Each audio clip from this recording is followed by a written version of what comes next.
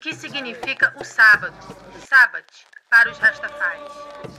O sábado é um dia sagrado de descanso e adoração para as comunidades Rastafari e também judaico. Na Bíblia, o sábado é mencionado nos Dez Mandamentos como o sétimo dia da semana e deve ser santificado.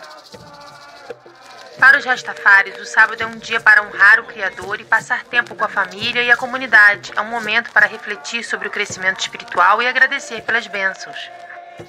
Para os rastas, assim como para os judeus, o sábado é o dia mais importante da semana e é observado desde o pôr do sol da sexta-feira até o pôr do sol do sábado.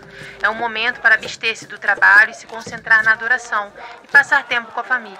O sábado é considerado um dia de descanso e rejuvenescimento espiritual e é aspecto crucial das tradições e crenças Rastafari e judaicas. Lembra-te do dia do sábado para o santificar. Seis dias trabalharás e farás toda a tua obra, mas o sétimo dia é o sábado do Senhor teu Deus. Êxodo 28 a 10.